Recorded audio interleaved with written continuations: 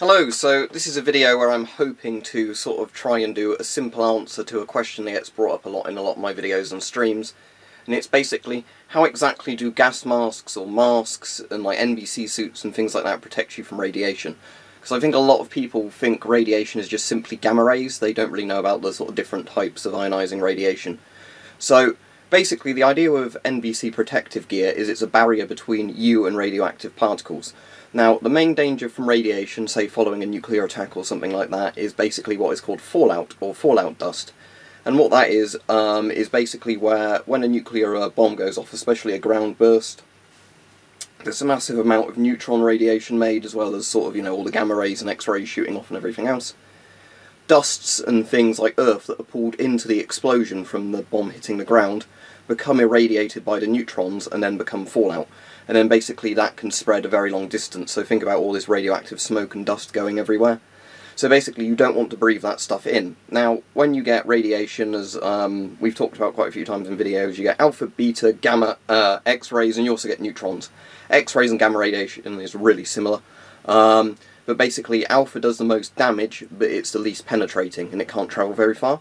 Uh, beta is kind of halfway house, and then gamma is um, you know, the most penetrating travels the furthest, travels the fastest, but it's actually, um, you know, doesn't do as much damage as it passes through things because it's not depositing all its energy in something as it passes through it.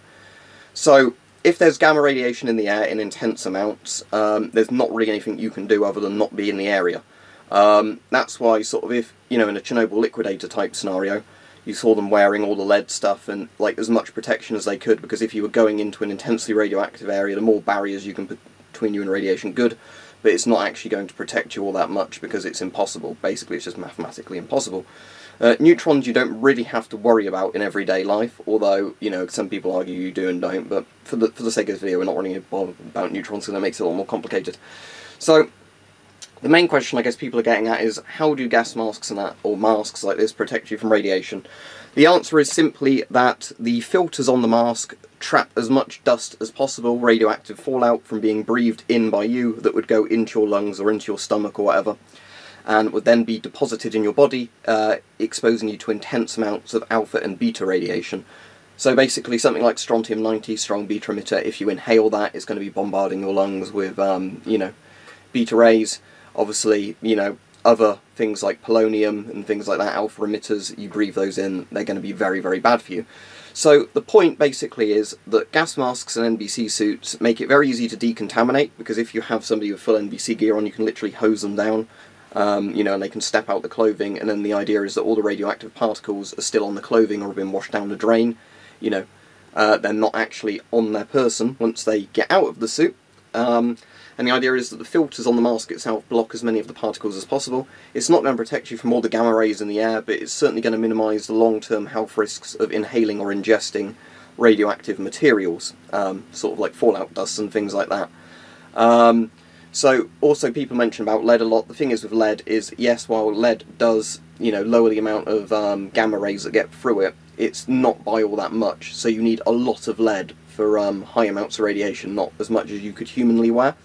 So basically, when you see the proper application of lead, it's basically if they've got like a hospital radio, uh, you know, therapy source, basically it's got like lead bricks around it, and the idea is they stop you getting all that close to it due to inverse square law, and also, you know, the point is that they do absorb some of the radiation from getting through.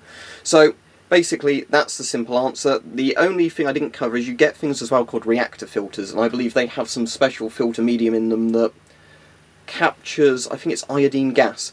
But it's one of those things that's, you know, like a very, very specific application for, so for most people they're kind of pointless to have because I think the reason they're called reactor filters is they're designed to work for certain gases that might be found in a reactor that wouldn't be stopped by regular filters.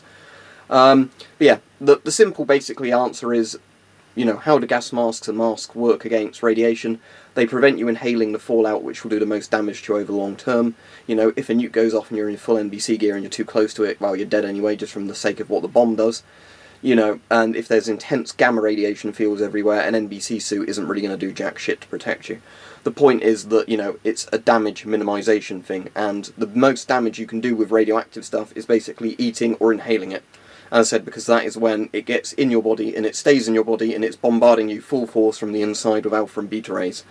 You know, so there we go. Hopefully that's explained it. I'm sure there will still be more questions raised by this video, but there you go. The, the main the main thing is gas masks and things like that prevent you inhaling radioactive material getting into your lungs or into your mouth.